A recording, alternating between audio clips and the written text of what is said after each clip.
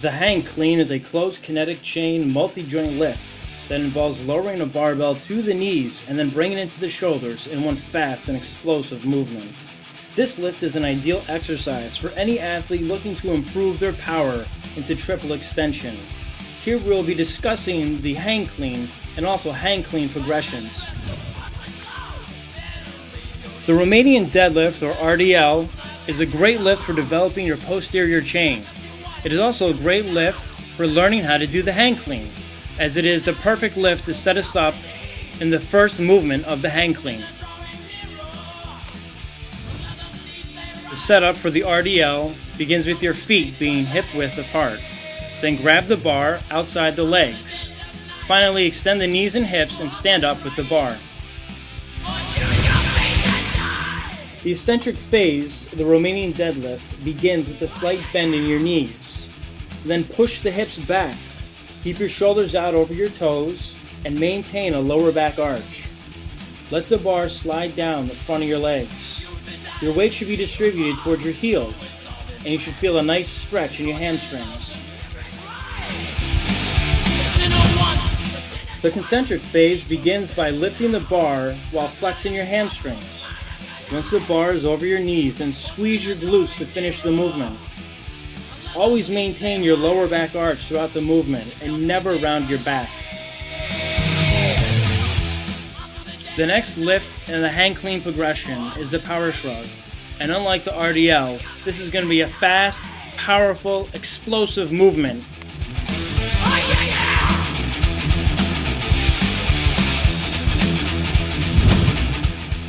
The setup for the power shrug is just like the setup for the RDL.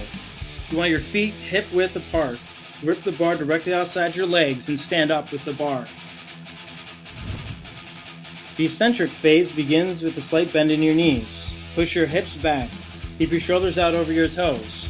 Maintain your lower back arch and let the bar slide down your legs. Stop just above your knees, and you should feel a nice stretch in your hamstrings. For the concentric phase, we're going to release all that stored energy in the hamstrings. We're going to explosively fire the ankles, knees, and hips while simultaneously shrugging the shoulders while trying to maintain straight arms. The final lift in the hang clean progression is known as the high pull. And just like the power shrug, you want to apply maximum force against the ground, this time trying to elevate the bar all the way up to your shoulders.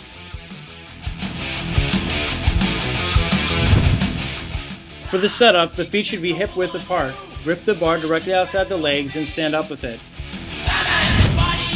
The eccentric phase of this lift is identical to the previous two lifts. There should be a slight bend in the knees. You want to push the hips back and keep the shoulders out over the toes. Maintain lower back arch. Let the bar slide down the legs and stop right above the knees. For the concentric phase, explosively fire your ankles, knees, and hips into triple extension while simultaneously shrugging your shoulders. Allow your elbows to bend out over your hands, trying to get the bar as high as possible. We've now progressed to the hang clean, which involves actively pulling yourself underneath the bar and catching it or racking it across the shoulders.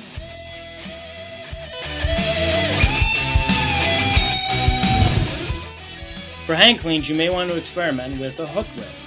A hook grip involves wrapping your thumb around the bar and then wrapping your fingers around the thumb. This will allow you to pull more weight on the bar and get more benefit out of the hang clean. For the setup, feet should be hip width apart. Grip the bar slightly outside the legs and stand up with the bar. The eccentric phase here is identical to the previous lifts. There should be a slight bend in the knees. You want to push your hips back while keeping your shoulders out over your toes. Maintain lower back arch and let the bar slide down the legs till just above the knees. For the concentric phase, you want to apply maximum force against the ground as you explosively fire the ankles, knees, and hips while simultaneously shrugging your shoulders. The final movement in the hang clean is known as the catch or the rack. Once the bar is at its highest point, fire the elbows underneath and past the bar. Loosen the grip to allow for wrists to turn over. The bar should fall and rest on the meat of the shoulders across the clavicles.